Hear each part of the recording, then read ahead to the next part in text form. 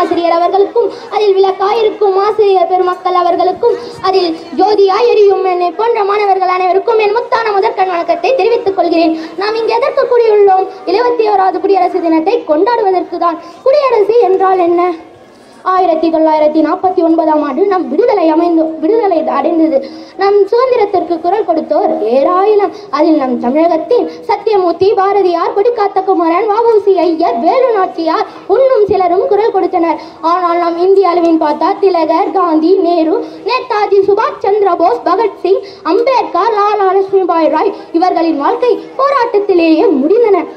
அக்காலத்தில் ஆட்சியின் போது மன்னர்கள் ஒற்றுமை இல்லாமல் இந்தியாவை பல மாநிலங்களாக பிரித்து ஆட்சி செய்ததனால் ஆங்கிலேயர்கள் இந்த ஒற்றுமையை காரணமாக வைத்து நம் நாட்டிற்குள் நுழைந்து அவர்கள் இருநூறு ஆண்டு காலம் ஆட்சி செய்தனர். அந்த இருநூறு ஆண்டுகளுக்கு முன்பு நம் நாடு எப்படி இருந்தது? பல மன்னர்களால் ஆட்சி செய்யப்பட்டன. சுதந்திரத்தை பற்றி யாரும் எவரும் அறியவில்லை. மன்னர் எம்மொழியாம் அவ்வழியிலேயே வாழ்ந்து வந்தனர். ராஜராஜ சோழன் மராட்டிய மன்னர் சிவாஜி புத்தர் போன்றோர் நல்லாட்சி கொடுத்தாலும் அவுரங்கசீப் அல்லாவுதீன் கீழ் போன்றவர்கள் மக்களுக்கு துன்பங்களையே கொடுத்தனர். மன்னராட்சி என்பது முடியாட்சி அவன் வைத்ததுதான் சட்டம். அதனை பற்றி சுயமாக சிந்திக்கவும் முடியாது. சுதந்திரத்தை பற்றி நினைக்கவும் முடியாது. குடியரசு என்பதன் பொருள் குடிமக்களோடு ஆட்சி குடிமக்களோடு அரசு. அதாவது மக்களாட்சி. மக்கள் தங்கள் விருப்பத்திற்கேற்ற தலைவனை தாமே தேர்ந்தெடுக்கும் முறையினை நீட்பதிப்பதுதான் இந்திய அரசியலமைப்பு சட்டம் என்கிறோம். இந்திய அரசியலமைப்பு சட்டம் உலகின் மிக நீளமான சட்டமாகும். மன்னர் ஆட்சியும் ஆங்கிலேயர்களின் ஆட்சியும் ஆயிரத்தி தொள்ளாயிரத்தி நாற்பத்தி ஏழாம் ஆண்டு முடிந்து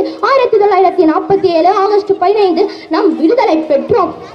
இரண்டு ஆண்டுகள் கழித்து நமது நேரு ஆயிரத்தி தொள்ளாயிரத்தி ஐம்பதாம் ஆண்டு குடியரசு நாடாகவும் மக்களாட்சி நாடாகவும் நிறுவப்பட்டன.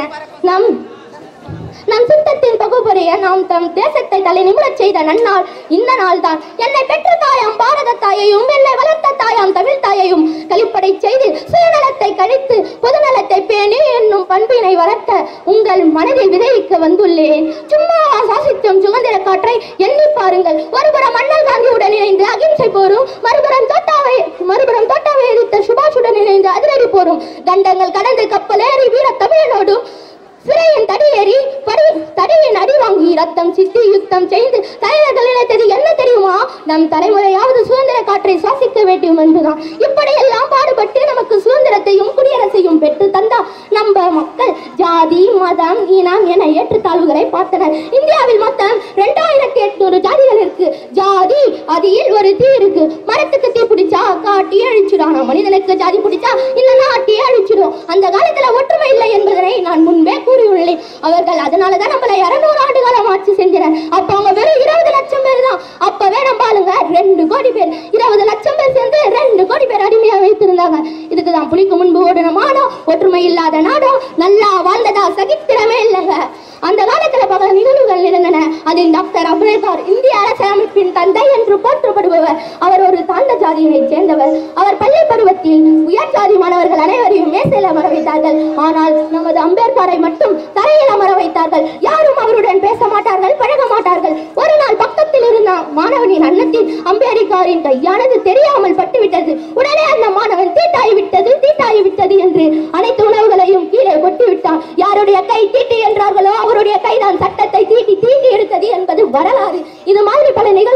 நிகழ்வுகள் அக்காலத்தில் நடந்தன இதற்கு நமது பாரதியார் ஒரு பாடலை அக்காலத்திலேயே பாடியுள்ளார். வெள்ளை நிறத்தொரு பூனை எங்கள் வீட்டில் வளர்ப்பது கண்டேன் பிள்ளைகள் பெற்ற பூனை அவ பேருக்கு ஒரு நிறமாகும். வெள்ளை நிறம் ஒரு குட்டி கருஞ்சாந்தி நிறம் ஒரு குட்டி.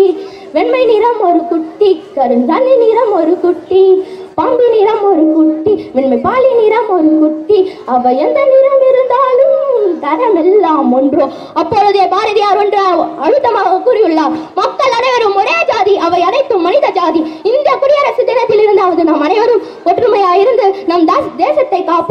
கூறி உங்களிடமிருந்து விடைபெறுகிறேன் நன்றி வணக்கம் Thank you so much for watching this. Please do like, share and subscribe this channel. Thank you so much.